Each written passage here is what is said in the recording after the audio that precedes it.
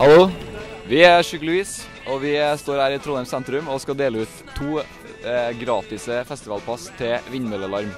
Så eh, da er det egentlig bare å komme seg ut i gata og eh, se om vi finner noen fine folk som fortjener et vindmøllepass. Da har eh, Terje funnet to folk her.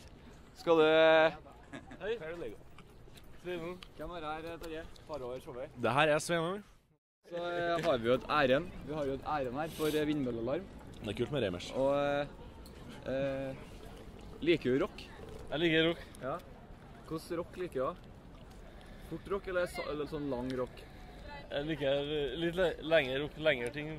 Ja. Lange ting. Så hvis du spiller mange korte låter etter hverandre, så blir det langt nok? Ja, det blir, det blir bra. Ja. Liker du Oslo S, da? Ja, det er tøft. Liker du Sugar Louise, da?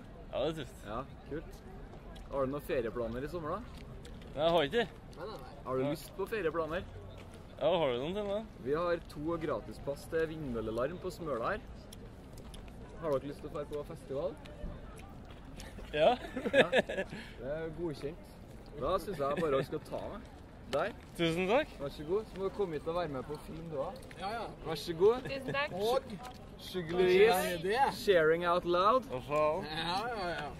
Her er heldige vinnerne av eh, to gratis premiepass til vindmøllealarm. Så vet dere hva som skjer. Det. Ja, takk for det. Ja. Tusen takk. Håper vi ser dere eh, forrest.